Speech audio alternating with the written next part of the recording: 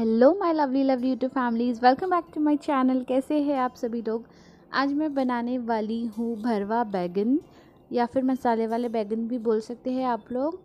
सो so, finally मैं बना रही हूँ स्ट्रीट फ़ूड जायका चैनल है। उसमें की रेसिपी मैं काफ़ी टाइम से इंतज़ार कर रही थी। इसका कि मैं आंटी की कोई एक रेसिपी ज़रूर बनाऊँ और अपने चैनल पे अपलोड करूँ तो फाइनली फाइनली आज वो दिन आ गया। और यहाँ पर मैं ट्राई कर रही हूँ भरवा बैगन। तो जैसे कि आंटी ने बताया था इस तरीके से ब्रिंजॉल जो है काटने चाहिए।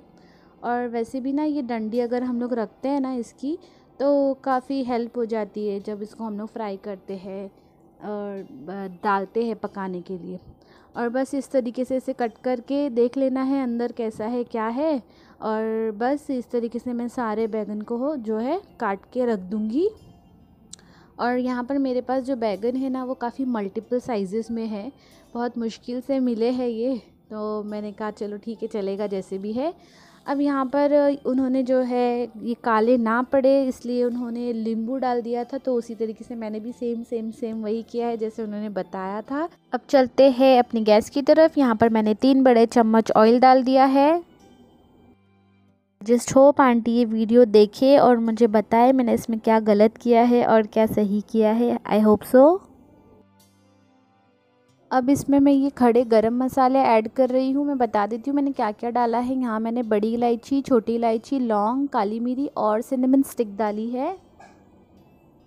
और बस इसे हम तेल में एक दो सेकंड के लिए फ्राई कर लेंगे। उसके बाद यहाँ पर मैंने एक मीडियम साइज़ की प्याज प्याज जो है वो कट कर ली थी।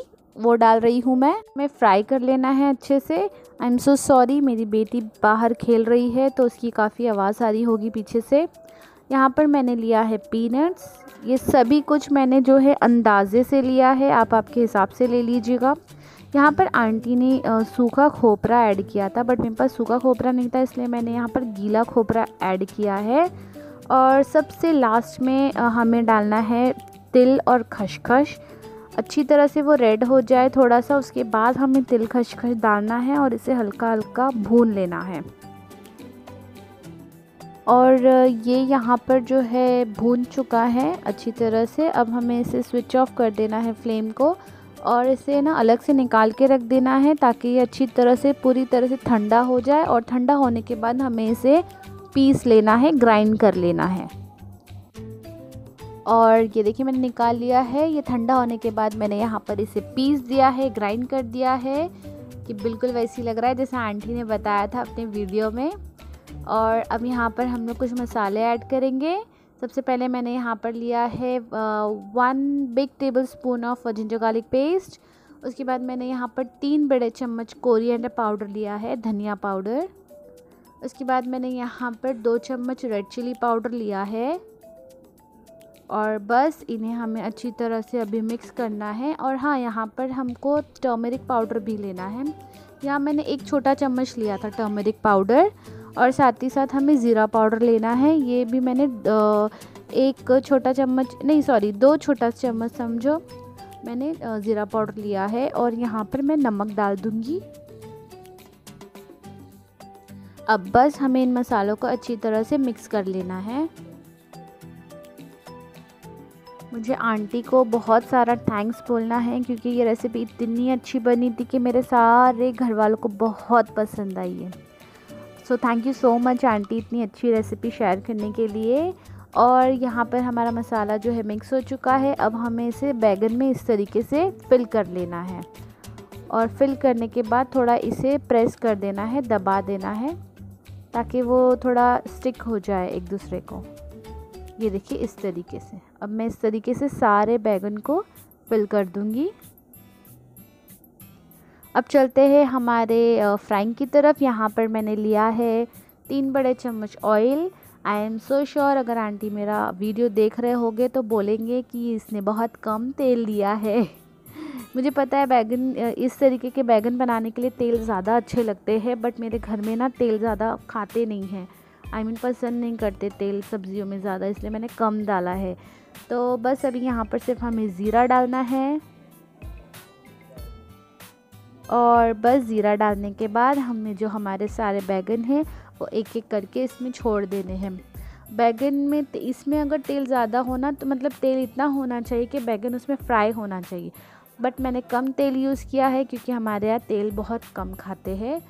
और ये देखिए सारे बैगन मैंने इसमें डाल दिया है। बस इसे बहुत ही संभालते हुए मिक्स करिएगा।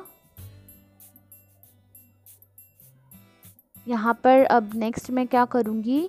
जो हमारा मसाला है, जो बच गया है, उसमें थोड़ा सा पानी डाल के वो भी इसी में डाल दूँगी।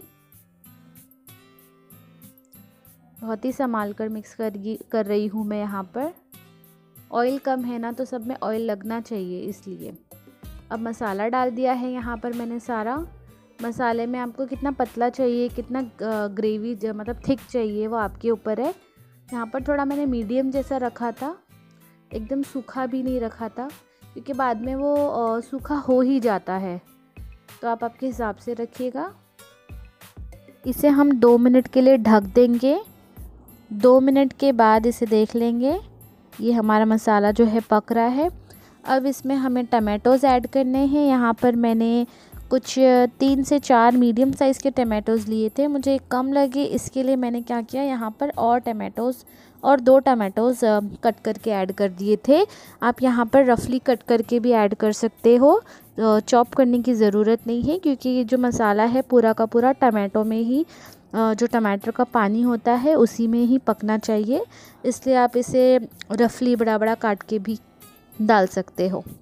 अब बस इसे मिक्स करना है और इसे तकरीबन पाँच मिनट के लिए हमने पकने छोड़ देना है ढककर।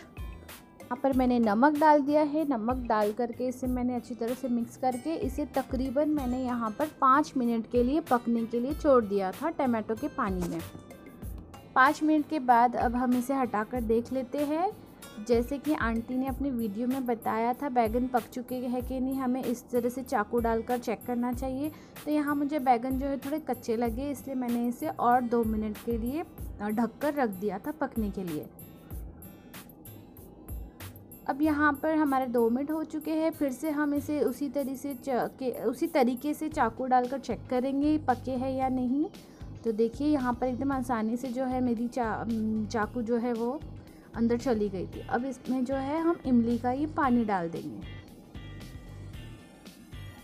और इमली का पानी डालने के बाद मैंने फिर से इसे एक बार अच्छी तरह से मिलाया और इसे ढक दिया एक दो मिनट के लिए ताकि इमली का पानी इसमें अच्छे से मिल जाए। अब दो मिनट बाद जो है, मैंने फिर से चेक किया और ये पूरा रेडी था। बस एक लास्ट चीज़ बाकी थी कोतमीर और ये धनिया पत्ती जो है मैंने कट करके इसमें डाल दिए थे, इसे मैंने मिक्स किया और बस ढक्कन ढक दिया फ्लेम ऑफ़ कर हमारा भरवा बैगन जो है वो रेडी हो चुका है और ये बहुत ही मज़े का दिख रहा था ना, उतना ही मज़े का ये बना था, बहुत ही ज़्यादा टेस्टी था। इसके लिए aunty thank you so so so very much बहुत ही अच्छी रेसिपी आपने हमारे साथ शेयर की है, बहुत अच्छी बनी। गाइज़ आप सभी लोग एक बार ज़रूर ट्राई करना। मैंने भी ये फ़र्स्ट टाइम बनाई है और बहुत अच्छी लगी मेरे घर में सभी को।